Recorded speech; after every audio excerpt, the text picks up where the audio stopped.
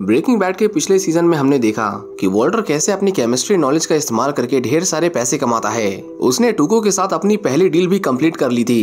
अगर आपने breaking bad का पहला पार्ट नहीं देखा है तो आप सबसे पहले उसे देख लीजिए, क्योंकि केमिस्ट्री टीचर की ये कहानी दुनिया की कुछ बेहतरीन कहानियों में से एक है। पार्ट वन का डायरेक्ट लिंक डिस्क्रिप्शन बॉक्स में है। कहानी की शुरुआत वहीं से होती है जहाँ पिछली बार इसे छोड़ा गया था। हम देखते हैं कि वोल्टर टूको से डील करके सत्तर हज़ार डॉलर कमाता है और अब उसे उसका नया डिस्ट्रीब्यूटर मिल गया था। टूको ने वोल्टर के लिए अपने आदमी के साथ जो किया था, उसे देखकर जैसी के पैरों तले ज़मीन खिसक गई थी। वो बेचारा डर के मारे काँप रहा था, लेकिन वोल्टर यहाँ भी अपने दिमाग का इस्तेमाल करता है। वो कार में बैठे बैठे उंगलियों पर वो सारे खर्चे गिन रहा था, जो उसके मरने के बाद उसके परिवार को चलाने के लिए ज़रूरी थे। वोल्टर को अभी भी साठ लाख सैंतीस हज़ार डॉलर कम पड़ रहे थे, जिसका मतलब था कि उन्हें टूको के साथ अगले ग्यारह हफ्तों तक इसी तरह डील करनी होगी। वो दोनों वहाँ से जाने लगते हैं, लेकिन तभी टूको उनके पास दोबारा आता है। हम देखते हैं कि जिस आदमी को उसने पीटा था, उसकी साँसें अभी भी चल रही थीं। वो वोल्टर को उसे बचाने को कहता है, लेकिन वोल्टर कुछ नहीं कर सकता था, क्योंकि वो केमिस्ट्री टीचर था, न कि कोई डॉक्टर जिसके बाद टोको अपने आदमी से कहकर उसकी लाश को वहीं सड़ने के लिए छोड़कर चला जाता है। बस एक महीने पहले वोल्टर अंडरवर्ल्ड की इस दुनिया से पूरी तरह से अनजान था और जब से उसने इसमें पैर रखा है, तब से वो तीन लोगों को बेवजह मरते हुए देख चुका था। वो बहुत डरा हुआ था। इतना कि उसके दिमाग में दिन रात बस यही चलता था कि कहीं कोई उसके परिवार को नुकसान ना पहुँचाए। दूसरी तरफ़ हम देखते हैं कि जैसे अपनी प्रोटेक्शन के लिए एक रिवॉल्वर खरीदता है। अगले दिन वोल्टर और जैसी की जब फिर से मीटिंग होती है तो वोल्टर देखता है कि जैसी बहुत डरा हुआ था। पूछने पर जैसे उसे बताता है कि कुछ लोग उसका पीछा कर रहे हैं और अक्सर देर रात को एक कार उसके घर के बाहर खड़ी रहती है। जैसे कहता है कि टूको ने जो मर्डर किया है, हम उसके आई विटनेस हैं। वो देखना चाहता है कि वो हम पर भरोसा कर सकता है कि नहीं। वोल्टर को भी डर लगने लगा था, क्योंकि अगर उसे पता चला कि उसका ब्रदर इन लॉ एक डीईए एजेंट है, तब वो उन्हें पक्का मार डालेगा। जैसे कहता है कि हमें बिल्कुल नॉर्मल एक्ट करना होगा और इस हफ़्ते वो जैसे ही हमसे मैथ लेने आएगा, हम उसे शूट कर देंगे। अब सुनने में तो ये प्लान काफ़ी अच्छा लग रहा था। लेकिन जब वोल्टर उससे पूछता है कि वो एग्जैक्टली उसे कैसे मारेगा तो यहाँ जैसी के सारे प्लान पर पानी फिर जाता है। क्योंकि उसे तो ये भी नहीं पता था कि उस बंदूक से सेफ्टी लॉक कैसे हटाते हैं। हैंक को जब उस गोडाउन में हुई चोरी के बारे में पता चलता है तो उसकी टीम इन्वेस्टिगेशन के लिए चोरी की सीसीटीवी फुटेज निकालती है। हैंक उन दोनों को देखकर हंस रहा था, क्योंकि उसे पता चल गया था कि ये दोनों नौसिखिए हैं, और शायद ये उनकी पहली चोरी थी। लेकिन उन्होंने जो केमिकल चोरी किया था, वो उसके लिए थोड़ा चिंताजनक था। क्योंकि वो हंड्रेड परसेंट श्योर था कि इससे वो लोग ड्रग बनाने वाले हैं। वो भी बहुत सारा।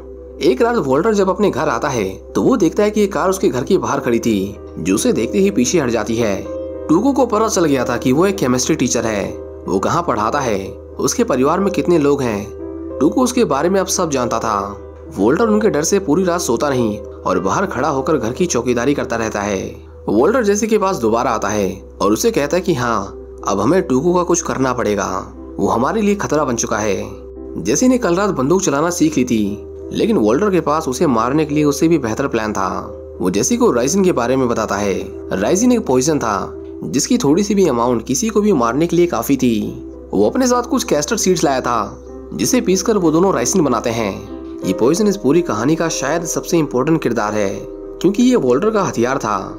जिसे वो ऐसी ऐसी जगहों पर इस्तेमाल करने वाला है, जिसके बारे में हम सोच भी नहीं सकते। वो प्लान करते हैं कि वो उस राइजिन को मैथ में मिलाकर टूको को उसे टेस्ट करने के लिए देंगे। टूको के शरीर में राइजिन जाते ही वो तुरंत नहीं मरेगा।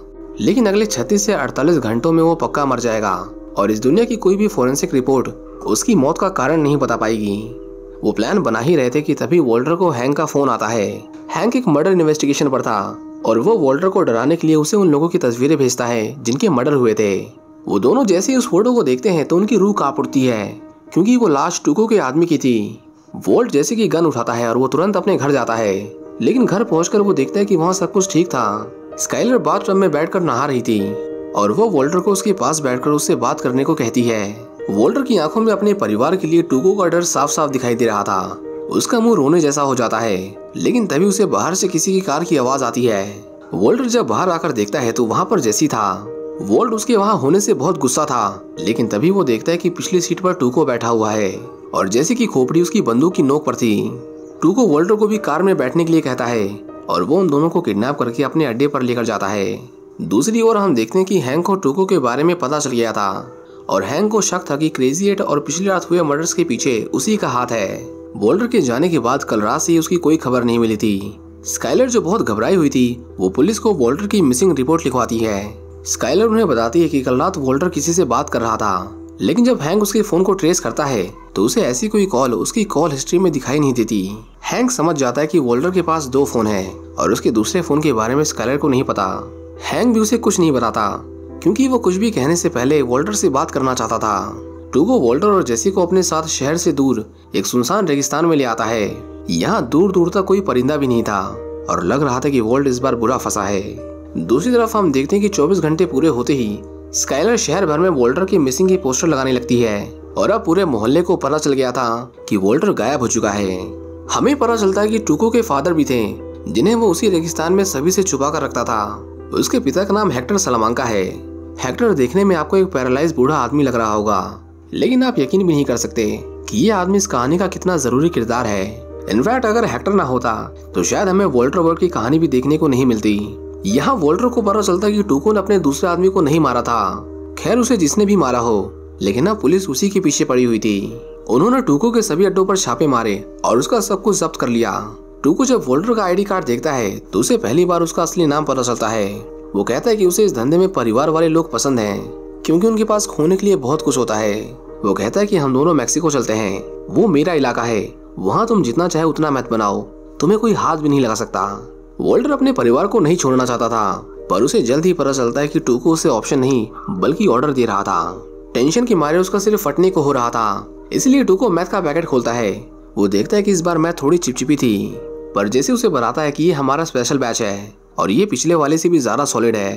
टूको कहता है कि वो अच्छा तो इसमें तुमने ऐसा क्या डाला है? जैसे इतना बेवकूफ़ था कि वो ठीक से झूठ भी नहीं बोल पाता, और कहता है कि इसके अंदर चिली पाउडर है। ये सुनते ही टूको उस मैथ को नीचे रख देता है, जिसमें उन्होंने राइजिन मिलाया था। उसे खत्म करने का ये गोल्डन चांस था, जो उन्होंने जैसी की वजह से खो दिया था। टूको को जब नशा चढ़ता है तो वो अपना आपा खो देता है, और वो जेसी को मारने लगता है। इससे पहले वो जेसी को गोली मार देता, वोल्टर टूको को रोक लेता है, और कहता है कि ये मेरा पार्टनर है। इसके बिना मैं तुम्हारे लिए मैथ नहीं बना सकता। टूको वॉल से कहता है कि आज शाम मेरे चचेरे भाई मुझे लेने आने वाले हैं, और अगर शाम तक तुम दोनों ने अपना मन नहीं बनाया तो मैं तुम्हारे पार्टनर को मार दूँगा। स्काइलर जो वोल्ट के गायब होने के बाद से स्ट्रेस लेने लगी थी। उसे उसकी बहन मैरी की मुँह से पता चलता है कि वॉल्टर के पास दो सेलफोन्स थे। स्काइलर को लगने लगा कि कहीं वॉल्टर का किसी के साथ अफेयर तो नहीं, या फिर कहीं वो उस लड़के से फिर से बात तो नहीं करने लगा, जो उसे नशे दिया करता था। यह स्काइलर जेसी के बारे में बात कर रही थी, जिसके बाद हैंक पूछताछ के लिए जेसी के घर जाता है। जैसे की मोम हैंक को बताती है कि उन्होंने भी जेसी को पिछले एक महीनों से नहीं देखा।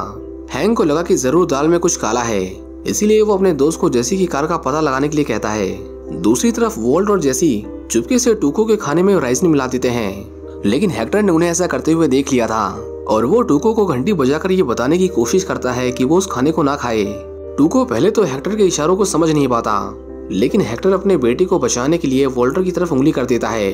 वो घंटी बजाए ही जा रहा था, जिस पर जैसे उसे कहता है कि मैंने टीवी का चैनल चेंज कर दिया, इसलिए शायद वो नाराज़ है। टूको ये सुनकर जैसी को बहुत मारता है, क्योंकि वो हेक्टर को जानता था। और वो उसे कभी झूठ नहीं बोलता। टूको इससे पहले जैसी को मार डालता, वोल्ट उसे कन्फेस करता है कि उन दोनों ने उसे जहर देकर मारने की कोशिश की। बस इतना कहकर वो दोनों उस पर टूट पड़ते हैं। वोल्ट के हाथ में टूको की राइफल थी, लेकिन घबराहट के मारे वो ठीक से निशाना नहीं लगा पाता। पर तभी जैसी टूको को शूट कर देता है। वो उसे वहीं पर मरने के लिए छोड़ देते हैं और वहाँ से भागने लगते हैं। लेकिन तभी वो सामने से कार को अपनी ओर आता हुआ देखते हैं। उस कार के अंदर हैंग था, जो जैसी की कार को ट्रैक करता हुआ यहाँ तक पहुँचा था। हैंग देखता है कि उसके हाथों तो जैकपॉट लग गया था, क्योंकि उसके सामने टूको सलामांका खड़ा था। हैंग उसे खुद को अरेस्ट करने के लिए कहता है, पर उन दोनों के बीच में क्रॉस फायरिंग होती है। हैंग के पास ज़्यादा बुलेट्स नहीं थी, इसलिए अपनी जान बचाने के लिए वो टूको का इनकाउंटर कर देता है। वोल्ट ने हैंग का ये रूप पहली बार देखा था, वो बहुत डर जाता है, और हैंग की नज़रों से बचते बचाते वो दबे पाव वहाँ से भाग जाते हैं। वो दोनों पिछले तीन दिनों से गायब थे, और अगर वो बस ऐसे ही घर चले जाते तो पुलिस को उनके ऊपर शक हो जाता। वोल्टर ने अपनी कम स्टोरी बना ली थी। वो एक ग्रोसरी स्टोर में जाकर बिना कपड़ों के खड़ा हो जाता है और जब पुलिस को वोल्टर के बारे में पता चलता है तो वो उसे तुरंत ही हॉस्पिटल में भर्ती करवा देते हैं। वोल्टर दिखावा करता है कि उसकी मेंटल कंडीशन कुछ ठीक नहीं है और उसकी यादाश्त भी आजकल कुछ ठीक नहीं रहती। अब क्योंकि वोल्टर एक कंफर्म कैंसर पेशेंट था, इसलिए उससे ज़्यादा सवाल जवाब नहीं किया जाता। लेकिन उसे अब अगले तीन से चार महीनों तक इसी हॉस्पिटल में रहना था, क्योंकि उसका केस बिल्कुल भी नॉर्मल नहीं था। दूसरी तरफ़ पुलिस जैसी के घर के बाहर चक्कर काट रही थी, जैसी उनके जाने के बाद चुपके से अपने घर के अंदर जाता है और मैथ बनाने के लिए उन्होंने जो इक्विपमेंट्स और केमिकल्स यूज़ किए थे, उन्हें अपने दोस्त बैजर की मदद से ठिकाने लगा देता है। इसके बाद जैसी मंडी नाम के एक प्रोस्टिट्यूट के पास जाता है।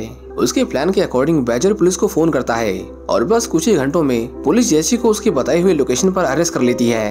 हैंग जेसी से उसकी कार के बारे में सवाल जवाब करता है, जो उसे टूको के पास मिली थी। जेसी कहता है कि वो पिछले तीन दिनों से मंडी के साथ था और इस बीच उसकी कार के साथ क्या हुआ उसे नहीं पता। हैंग जेसी को उसके पैसे दिखाता है, जो उसे उसकी कार में मिले थे। वो पैसे वैसे तो जेसी के ही थे, लेकिन ये लालच करने का सही समय नहीं था। हैंक मैंडी से भी पूछताछ करता है, लेकिन वो भी हैंक को वही कहानी बताती है जो जेसी ने उसे बताई थी। जेसी को लगा कि वो बच गया, लेकिन तभी हैंक हेक्टर को ले आता है। हेक्टर ने सब कुछ अपनी आँखों से देखा था।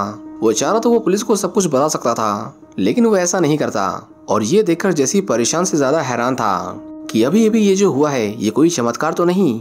आखिर में जब पुलिस को उससे कोई जानकारी नहीं मिलती तो उन्हें जैसे को मजबूरन छोड़ना पड़ता है। जैसी वोल्टर को फ़ोन करता है और उसे बताता है कि पुलिस ने उससे क्या क्या पूछा, अच्छी बात यह थी कि हैंक को वोल्टर के ऊपर शक नहीं हुआ था। वोल्टर जेसी को और मैथ बनाने के लिए कहता है, क्योंकि उसके लिए कुछ नहीं बदला था। वो अभी भी कैंसर से मर रहा था और उसे पैसों की ज़रूरत थी। वोल्टर को हॉस्पिटल से बाहर जाना मना था, और अगर उसे बाहर जाना है तो उसे प्रूफ करना होगा कि वो मेंटली पूरी तरह से स्टेबल है। वोल्ट का साइकेट्रिस्ट वोल्ट से अकेले में बहुत सारे सवाल पूछता है। वोल्ट को बाहर निकलने के लिए अपने डॉक्टर को कन्विंस करना था। इसलिए वो डॉक्टर से कहता है कि उसने ये सब जानबूझकर किया, और पिछले तीन दिनों से वो पूरी तरह से होशो हवास में था। यहाँ तक कि उसने उस ग्रोसरी स्टोर में अपने कपड़े भी पूरे होशो हवास में उतारे थे। वोल्ट उसे मैथ और टूको को छोड़कर सब कुछ सच सच बता देता है, क्योंकि वो जानता था कि एक साइकेट्रिस्ट कभी अपने पेशेंट की निजी जानकारी बिना उनकी मर्ज़ी के उनके परिवार वालों के साथ साझा नहीं करते। ये सब सुनने के बाद डॉक्टर उसे क्लीन चिट दे देते हैं और वोल्टर को हॉस्पिटल से डिस्चार्ज कर दिया जाता है। डिस्चार्ज होने के बाद वोल्टर जैसी से मिलने जाता है। वो दोनों सीधे तौर पर एक दूसरे से नहीं मिलते, क्योंकि वोल्टर को 20 मिनट से ज़्यादा घर से बाहर रहना अलाउड नहीं था। वोल्टर और मैथ बनाना चाहता था, लेकिन उन्हें थोड़े दिनों के लिए अंडरग्राउंड होना पड़ेगा, क्योंकि बाहर का माहौल बिल्कुल भी ठीक नहीं था। जैसे उससे अपने पैसों की समस्या का ज़िक्र करता है, लेकिन वोल्ट उसकी बातों पर गौर नहीं करता और वहाँ से चला जाता है। इतना सब कुछ करने के बाद, अब उसे फिर से अपनी वाइफ का भरोसा जीतना था, इसलिए वो फिर से नॉर्मल बनने की कोशिश करता है। वोल्ट उनके लिए ब्रेकफास्ट बनाता है, घर के सारे जूठे बर्तन साफ़ करता है, और तो और स्काइलर को अपने दूसरे फ़ोन के बारे में एक बढ़िया सी झूठी कहानी भी सुनाता है। स्काइलर उसकी बातों को सुन रही थी, पर तभी वो अचानक से उठकर घर के बाहर चली जाती है। दूसरी तरफ़ हम देखते हैं कि जैसी के पास एक सरकारी नोटिस आता है, जिसमें लिखा था कि उसे अपना घर खाली करना होगा। जैसे कि माँ बाप उसे खुद घर से बेदखल कर रहे थे। उन्होंने उसे कई बार सुधरने का मौका दिया, लेकिन जैसे अपनी बुरी आदतों से बाज नहीं आ रहा था। ऊपर से उसकी माँ को जैसे के बेसमेंट में ड्रग्स बनाने के सारे इक्विपमेंट्स मिले थे, जिसकी उन्होंने सबूत के तौर पर तस्वीरें खींच ली थी। जैसे के पास बहस करने के लिए कोई पॉइंट नहीं था, इसलिए उसे मजबूरन घर को खाली करना पड़ता है। वोल्ट के घर में भी कुछ ठीक नहीं चल रहा था, क्योंकि शाम को जब स्काइलर आती है तो वो वॉल्टर को नहीं बताती कि वो पूरे दिन कहाँ पर थी। इसी तरह वो हर दिन घर के बाहर जाती थी। एक दिन जैसे वॉल्टर को मदद के लिए फ़ोन करता है, लेकिन वॉल्टर उसका फ़ोन नहीं उठाता, और जब दोनों में बात होती भी है तो वो फ़ोन पर एक दूसरे के ऊपर चिल्ला रहे थे। जैसे अपने सभी दोस्तों को फ़ोन करता है, लेकिन कोई भी उसकी मदद करने को तैयार नहीं था। उसके सभी दोस्त लाइफ में बहुत अच्छा कर रहे थे। और कोई भी उसकी जैसे आदमी के साथ रिश्ता नहीं रखना चाहता था। जैसे के पास अब रहने के लिए छत नहीं थी। इसलिए वो देर रात को चुपके से गराज में जाता है। अंदर घुसने की कोशिश में वो एक टॉयलेट में गिर जाता है, जिसकी वजह से उसके पूरे शरीर से बदबू आ रही थी। अगली सुबह जब उसकी आँख खुलती है तो गराज का मालिक उसके सिर पर बंदूक तान कर उसे वहाँ से बाहर जाने के लिए कहता है। जैसे उससे वादा करता है कि वो उसे उसके पैसे दे देगा, लेकिन मालिक उसकी बात नहीं सुनता और उसे वहाँ से धुतकार कर भगा देता है। ऑनर को पता चलता है कि उस वैन में जो मैथलेमिन का कंटेनर था, उसकी कीमत लाखों में थी। लेकिन इससे पहले वो कुछ समझ पाता, हम देखते हैं कि जैसे उस वैन को चोरी करके वहाँ से भाग जाता है। दूसरी तरफ़ वॉल्टर स्कायर से उसके की के लिए माफ़ी माँगता है, लेकिन स्कायर को अब पूरा सच जानना था। वो भी एकदम शुरुआत से। वोल्टर उसे रोकने की कोशिश करता है, लेकिन स्काइलर फिर से घर छोड़कर चली जाती है। इसी बीच वोल्ट की नज़र जैसी के ऊपर पड़ती है, जो उसके घर के बाहर पूरी की पूरी मैथ लैब लेकर खड़ा था। वोल्ट जेसी के पास जाता है और उस पर चिल्लाने लगता है, क्योंकि उसने उसे बड़ी से बड़ी मजबूरी में भी उसके घर आने से मना किया था। जैसी को अपने खर्च में बस थोड़े से पैसे चाहिए थे, लेकिन वोल्ट उसे फूटी कौड़ी देने से भी मना कर देता है। ये सुनकर जैसी को उसके ऊपर बहुत गुस्सा आता है, और वो वोल्ट को मारने के लिए उस पर कूद पड़ता है। जैसे दिल का बुरा लड़का नहीं था, बस वो थोड़ा बेवकूफ़ था। वो वोल्ट को नहीं मारता, जिसके बाद वोल्ट को भी समझ आता है कि उसे पैसों की सच में ज़रूरत है। वोल्ट उसकी मजबूरी को ध्यान में रखते हुए अपने हिस्से के पैसों में से कुछ पैसे जैसी को दे देता है और उन दोनों ने एक दूसरे को जो अनाप शनाप बोला था, उसके लिए वो एक दूसरे से माफ़ी मांगते हैं। इसी तरह दिन बीत जाते हैं और धीरे धीरे वोल्ट अपने ही परिवार में एकदम अकेला हो जाता है। स्काइलर उससे इतना नाराज़ थी कि वो उससे बात करना बंद कर देती है और सबसे चिंताजनक बात यह थी कि वॉल्ट के पैसे धीरे धीरे खत्म हो रहे थे। उसे फिर से अपने बिज़नेस को ट्रैक पर लाना था, नहीं तो वो मर जाता और अपने परिवार के लिए कुछ भी छोड़कर नहीं जाता। दूसरी तरफ़ हम देखते हैं कि हैंक अपने सीनियर को अपने शहर की क्राइम रिपोर्ट सबमिट करता है। यहाँ हमें पता चलता कि वर्ल्ड के मैथ न बनाने की वजह से शहर में मैथ की बिक्री एकदम नीचे गिर गई थी। हैंक अपने बॉस को बताता है कि इस गेम में एक नए आदमी ने एंट्री ली है और लोग उसे हैजनबर्ग के नाम से जानते हैं। हालाँकि उसे खुद लग रहा था कि ये बस अफवाहें हैं। हैंक ने शहर में ड्रग डिस्ट्रीब्यूशन रोकने के लिए जो अपना योगदान दिया था, उसे मद्देनजर रखते हुए उसका बॉस उसे प्रमोट कर देता है। और अब हैंक को और भी बड़ी टास्क फोर्स के साथ मिलकर काम करना था। हैंक बाहर से तो काफ़ी खुश था, लेकिन हम देखते हैं कि उसे लिफ्ट में पैनिक अटैक आने लगते हैं। दूसरी तरफ़, जैसे उस गराज के मालिक के पास जाता है, वो उससे पिछली बार के लिए माफ़ी माँगता है और उसे उसके सारे पैसे विद इंटरेस्ट लौटा देता है। वॉल्ट के पैसों से उसने अपने लिए पुरानी कार भी खरीद ली थी और वो अपने सारे उधार भी चुका देता है। जैसी को रहने के लिए घर चाहिए था, इसलिए वो किराए के घर की तलाश करता है। उसे एक घर मिल भी गया था लेकिन उसकी ऑनर जेन जैसी के बैकग्राउंड की वजह से उसे घर देने से मना कर देती है। जैसी उसे सब कुछ सच सच बता देता है और कहता है कि अब वो सुधर चुका है, यहाँ तक कि वो उसे एक्स्ट्रा मनी और चार महीने का एडवांस भी देता है, जिसके बाद जीन उसकी बातों से कन्विंस हो जाती है और जैसी को वो घर मिल जाता है। पैसे कमाने के लिए वोल्ट एक बार फिर से मैथ बनाना शुरू कर देता है। वो जैसी से कहता है कि अब हमें इस बिज़नेस में कोई नया टोको सलमान का नहीं चाहिए। अब से वही होगा जो हमने शुरुआत में तय किया था। मैं दिन में मैथ बनाऊँगा और तुम उसे रात में बेचोगे। पर जैसे ये सब करके पुलिस की नज़र में नहीं आना चाहता था, उन्होंने टूको को मारकर मार्केट में मैथ की सप्लाई बिल्कुल खत्म कर दी थी। और जैसे टूको की तरह एक डिस्ट्रीब्यूटर बनना चाहता था, वो अपने सभी दोस्तों को इकट्ठा करता है और बताता है कि उन्हें उसका बनाया हुआ मैथ बेचना है, जिसके बदले उन्हें हर बिक्री का कुछ हिस्सा दिया जाएगा। इसके बाद उसके दोस्त रात में लोगों को मैथ बेचना शुरू कर देते हैं। पहली बार जैसी का कोई आइडिया काम कर रहा था। और थोड़ा ही सही, लेकिन वो कुछ पैसे बना पा रहे थे। जैसी जब वोल्टर को उसके हिस्से के पैसे देता है तो वोल्टर देखता है कि उसके अंदर हज़ार डॉलर कम थे। जैसे उसे बताता है कि कल रात स्किनी पीट को किसी ने लूट लिया, बस इसीलिए पैसे थोड़े कम हैं। वोल्टर इतना तो समझ गया था कि आज उन्होंने स्किनी पीट को लूटा है, कल वो किसी और को लूटेंगे। वोल्ट जेसी को एक गन देता है, और उसे कहता है कि जाओ, उन लोगों को सबक सिखा कर आओ। वो कहता है टूको कैसा भी था, लेकिन उसे इस बिज़नेस की समझ थी। उसे पता था कि ये बिज़नेस सिर्फ़ डर से चलता है। इसके बाद जैसी अपने दोस्त से उस आदमी के बारे में पूछता है, जिसने उस रात उसके पैसे लूटे थे। अब बहुत ज़्यादा संभावना थी कि वो आदमी बहुत खतरनाक हो, इसलिए जैसी बहुत डरा हुआ था, उसके हाथ में बंदूक थी, लेकिन फिर भी उसके हाथ काँप रहे थे। वो कुछ देर के लिए उसके घर का दरवाज़ा खटखटाता है, लेकिन जब कोई गेट नहीं खोलता तो जैसी खिड़की तोड़कर अंदर घुस जाता है। उस आदमी का पूरा घर बिखरा हुआ था, और पूरे घर से बहुत गंदी बदबू आ रही थी। जैसी वहाँ कुछ ऐसा देखता है, जिसकी उसे जरा भी उम्मीद नहीं थी। उस अकेले बंद कमरे में उसे एक छोटा बच्चा दिखाई देता है, जिसे उसकी माँ बाप वहीं छोड़कर चले गए थे। जैसी देखता है कि वो बच्चा बहुत भूखा था, इसलिए वो उसे कुछ खाने को देता है। यहाँ हमें जैसी की एक अच्छी साइड देखने को मिलती है, और हमें पता चलता है कि जैसी ने अपने लिए चाहे कितने भी गलत काम किए हों, लेकिन वो दूसरों के लिए हमेशा से अच्छा था। जैसे उस आदमी के वापस लौटने का इंतज़ार करता है, और उसके वापस लौटते ही वो उसके ऊपर हमला कर देता है। हम देखते हैं कि वो दोनों बहुत कमज़ोर थे, इसलिए अब जैसे कि अंदर से भी डर निकल चुका था। दूसरी ओर हम देखते हैं कि ग्रेचन वोल्टर का हाल चाल लेने के लिए स्कैलर को फ़ोन करती है। स्कैलर ग्रेचन को उसकी मदद के लिए थैंक यू कह रही थी, पर ग्रेचन को कुछ भी समझ नहीं आता। वो वोल्टर के घर आती है, और उसे पता चलता है कि वोल्ट ने अपने परिवार से झूठ बोला था, कि वो और एलेट उसके इलाज का खर्च उठा रहे हैं, जबकि वोल्ट ने उससे पैसे भी नहीं लिए थे। वोल्ट ग्रेचन से रिक्वेस्ट करता है कि वो स्कैलर को कुछ ना बताए। लेकिन ग्रेचन उससे बहुत गुस्सा थी। वो कहती है कि तुमने अपने परिवार से झूठ क्यों बोला? वोल्टर ग्रेचन से कई बार माफ़ी माँगता है और कहता है कि ये तुम्हारा मैटर नहीं है। तुम प्लीज़ इसे दूर रहो। ग्रेचन ने वोल्टर का ये रूप पहले कभी नहीं देखा था। वो मरने की कगार पर था। फिर भी वो अपने परिवार से झूठ बोल रहा था और पता नहीं इतने सारे पैसे कहाँ से ला रहा था। वोल्ट कहता है कि तुम क्या चाहती हो? कि मैं पैसों के लिए तुम्हारे पैर पड़ूं? तुमसे पैसों की भीख मांगू? वो कहता है कि वो ऐसा नहीं करेगा। तुम भाड़ में जाओ। वहीं दूसरी तरफ़ जैसी उन दोनों से अपने पैसे माँगता है पर उन दोनों ने नशे में अपनी सुध बुध खो दी थी। वो आदमी जैसी को बताता है कि कुछ महीने पहले उसने एक एटीएम लूटा था और उसके अंदर ढेर सारे पैसे हैं। जैसे यहाँ बिल्कुल भी खतरे को भाप नहीं पाता, क्योंकि उस आदमी ने उस एटीएम को चोरी करते वक्त एक हट्टे कट्टे आदमी का मर्डर किया था। तो ऐसे में जैसे उसके लिए किस खेत की मूली थी? उन्हें बस उसे मारने के लिए एक अच्छे मौके की तलाश थी। वो उस एटीएम को खोलने की कोशिश करते हैं और इसी बीच जैसी उसके बच्चे को देखता है। जैसे उसकी माँ से कहता है कि देखो ये बेचारा कितना कमज़ोर हो चुका है। तुम अपने बेटे का ध्यान क्यों नहीं रखती? यहाँ जैसी उन्हें धमकाने आया था, लेकिन उसकी इंसानियत उसे ही भारी पड़ जाती है, क्योंकि उस औरत को जैसे ही मौका मिलता है, वो जैसी पर हमला कर देती है, और एक ही वार में वो बेहोश हो जाता है। वहाँ वोल्टर जब अपने घर आता है तो उसे पता चलता कि ग्रेचन ने स्कैलर को फ़ोन किया था।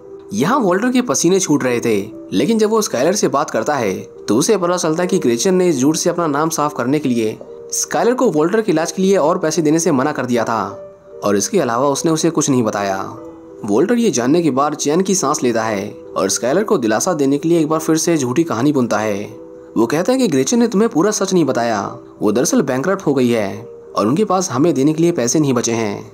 स्काइलर को ये सुनकर थोड़ा अजीब लगता है, क्योंकि वो पैसे वाले लोग थे। पर वोल्टर उसे कहता है कि ग्रेचन बहुत शर्मिंदा है और उसने ये सब सोच समझ कर ही किया होगा। जैसी को जब होश आता है तो वो देखता है कि उसकी गन उस आदमी के हाथ में थी।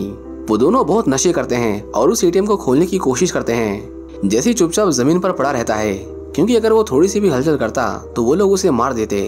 एटीएम खोलते समय उस औरत की अपने पति के साथ छोटी सी बात पर बहस हो जाती है, और नशे की हालत में वो औरत उस एटीएम मशीन को अपने पति के सिर पर गिरा देती है, जिसके नीचे दबकर वो मर जाता है।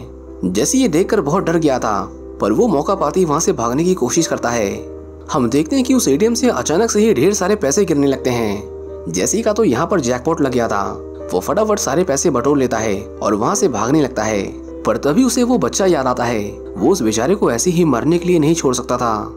जैसे ही पुलिस को फ़ोन करता है और उस बच्चे को कंबल उड़ाकर उसे घर के बाहर बैठा देता है, वो चाहता था कि उस बच्चे को अच्छी ज़िंदगी मिले और उसके लिए वो अपनी तरफ़ से बस इतना ही कर सकता था। आज जैसी ने जो किया था, उसकी वजह से उसकी ज़िंदगी पूरी तरह से बदलने वाली थी। लेकिन उसके बारे में हम इस वीडियो के तीसरे पार्ट में बात करेंगे। ब्रेकिंग बैड का तीसरा भाग कल अपलोड कर दिया जाएगा।